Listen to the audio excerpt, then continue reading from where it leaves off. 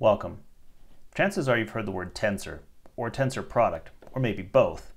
You may be confused about why there are two names. Maybe you think of them as the same, and they are relatable, but they do play substantially different roles.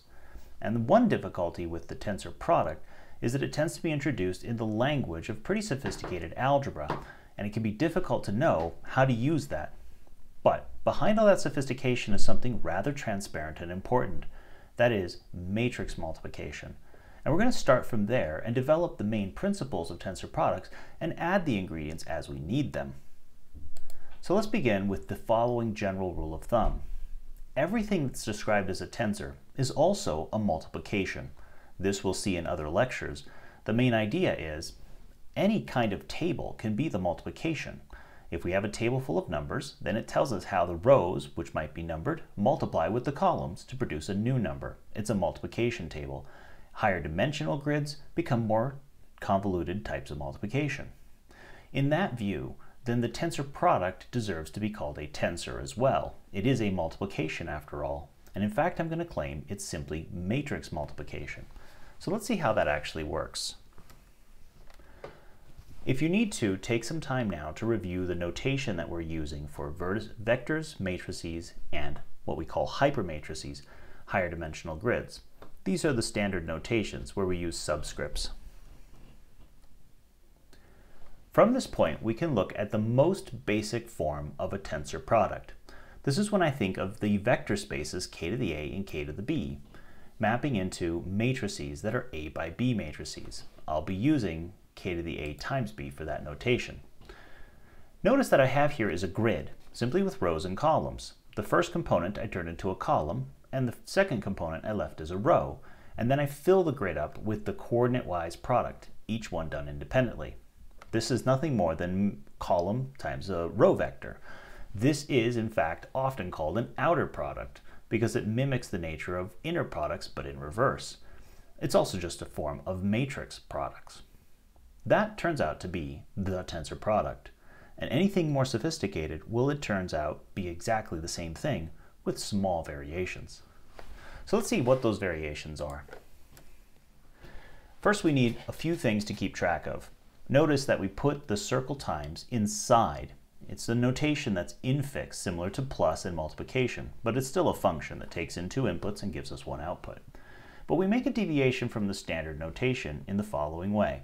When we write k to the a circle times, or tensor, k to the b, we don't mean the image of this function. Instead, we mean the smallest subspace containing the image, the span of the image. This is important because we want to do linear algebra, and the space that comes back from this function just happens not to be a subspace. It's got a few vectors in there, but they add up to many, many more vectors. And therefore, in general, the space thought of as k to the a tensor k to the b, which is all a by b matrices, is much, much larger than what we can reach with an individual tensor product. We'll get into that later. But first we want to answer why are we even interested in the circle times? Certainly, your experience with matrices has led you to believe those are important, so perhaps that's enough. The fact that matrices are important, their products must be important too. But there's something more substantial than that that we should get at, and we can get at with a simple example, the complex numbers as a real vector space. The complex numbers as a real vector space, or if you like, imagine any other product, quaternions multiplying together, modules, if you know what those are, whatever complex structure you have, complicated structure you have, you could reduce it to a product that's distributive, with maybe some scalars moving in and out. Let's think of the complex numbers with the real numbers allowed to move in and out, and everything else is just the distributive law. And we know what the product is, we're quite familiar from all our education and algebra classes. a plus bi times c plus di relates to AC minus BD plus AD plus BCI. Now that's written in the coordinates that we prefer for the complex numbers, but what does that really mean? If we bother to translate these into pairs, as in drawing them on the xy plane, then we think of this product as simply manipulating these two vectors, AB and CD, in the following format. I've used matrix multiplication to demonstrate it. Notice that the first coordinate could be thought of as taking the first row vector times a 2 by 2 matrix times a column vector, producing a 1 by 1 matrix. but having put that square matrix in the middle lets us see the dynamics of how we relate them to each other. In the second coordinate, we get a different matrix. These two matrices describe the product in its entirety.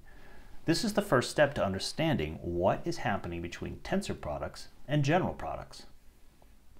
What we've just seen is that describing the product over the reals and the fixed basis 1 comma i could be describing just or could be done by just describing these two matrices. But this pair turns out to just have been an artifact of choosing 1 and i. We could have used a different basis for the complex numbers.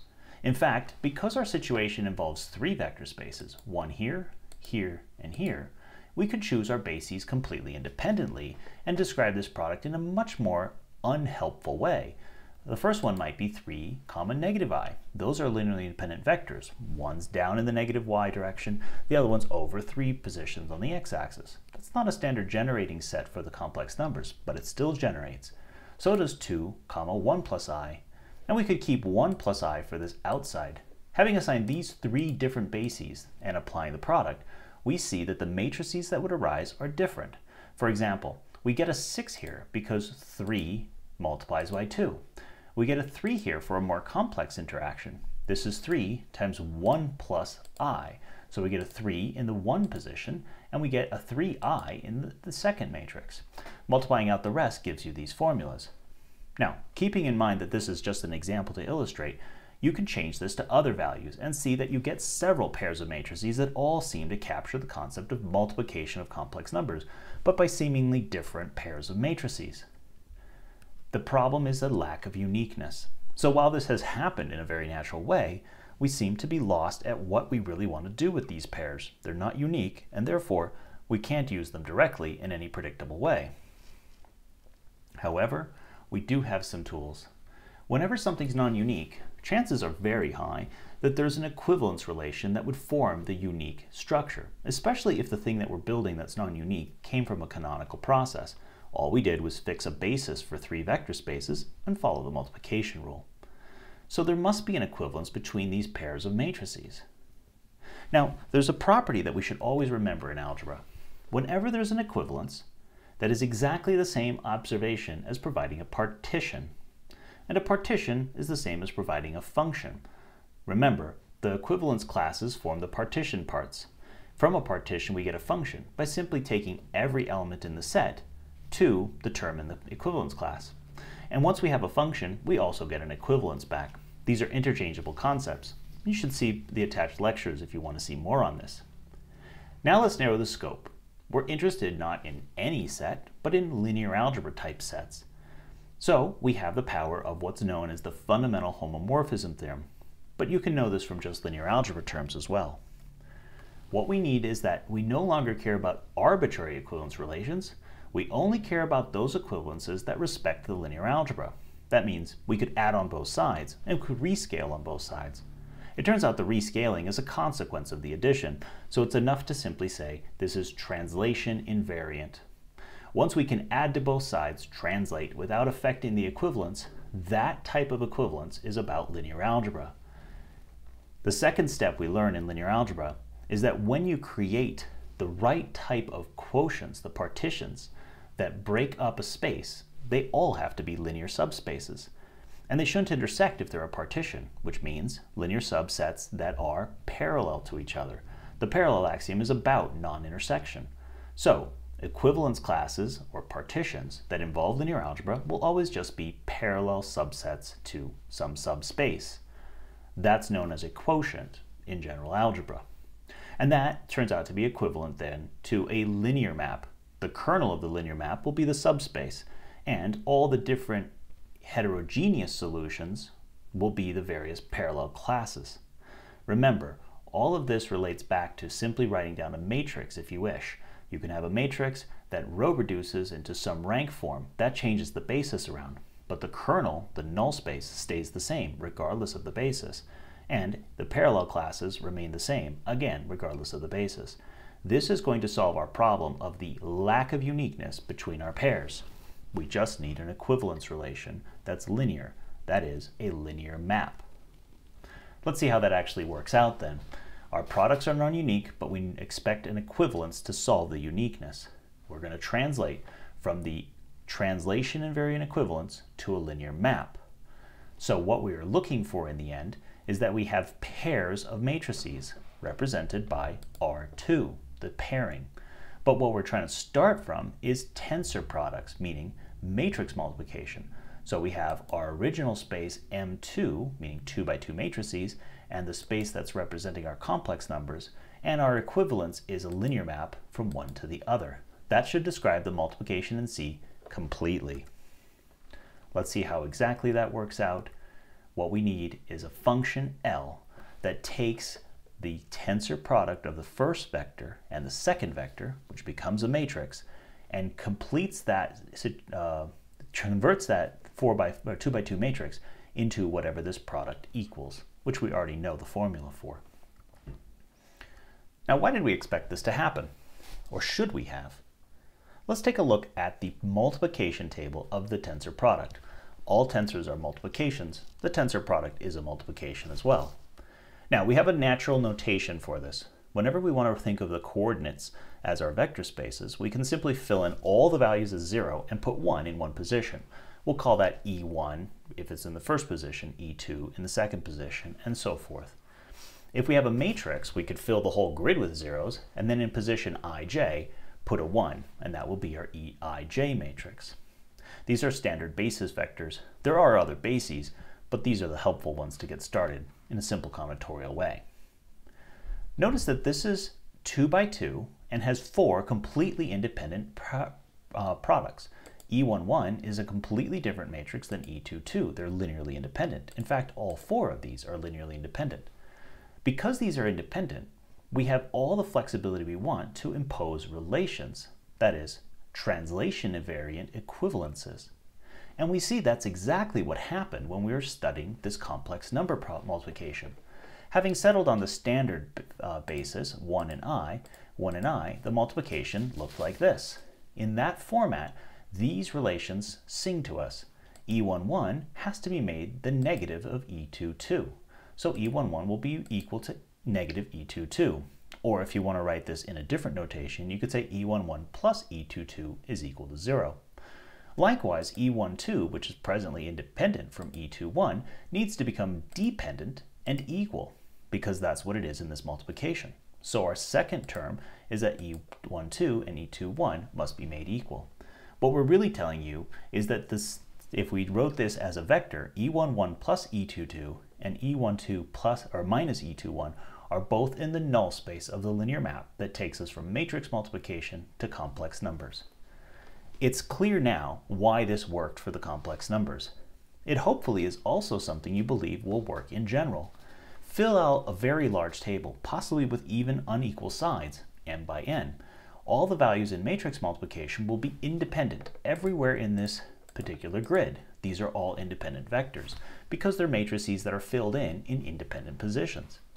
Any other product between an m-dimensional space and an n-dimensional space, which is distributive and commutes with the scalars, meaning we have linear algebra, will therefore be something we could relate to this general product. We simply have to add in the relations that tell us where our new product is making some identifications, where have two vectors have a product that happen to be equal, which wouldn't have to have been equal. Up to an equivalence, this is now describing every single multiplication. And we capture that with the following theorem. This is sometimes known with the name of the universal mapping property of a tensor product. That's a lot to remember. We'll sneak up on it instead. For now, I just want you to think of the previous slide. If we write down an independent multiplication table, then any other multiplication table is the same multiplication up to some equivalences between the terms in the table. And we can capture equivalences by linear algebra, a linear map. If I have any distributive product from Ka, Kb into Kc that commutes with our scalars, there's a unique linear function that takes our multiplication table of matrices to the individual output of our product. The result is that this linear map captures everything that our original product could do. Said another way, linear is just code word for translation invariant equivalence. So the corollary of the universal mapping property of tensors is simply saying this. Every distributive product is a matrix product, just subject to some equivalence relation.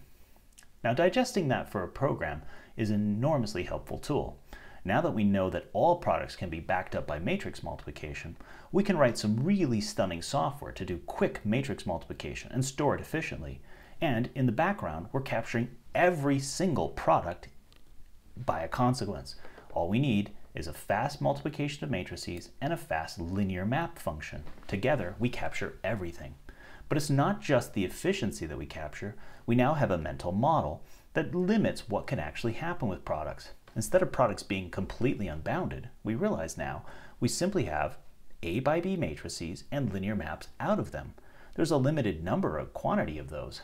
That means that whatever matrices or whatever products are doing, they're also bound by those rules.